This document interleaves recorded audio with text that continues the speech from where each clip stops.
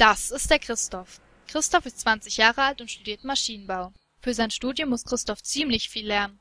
Ein Ausgleich findet Christoph beim Kartfahren. Helm auf, Motor an und los geht's.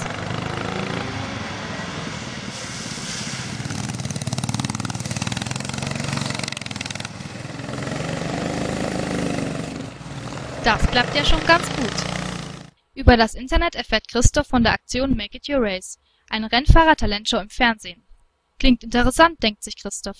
Er war schließlich schon immer eine kleine Rampensau. Lässt natürlich schon auf euer Hobby schließen. Was macht ihr? Kartfahren. Kartfahren. Ins Mikro, danke schön.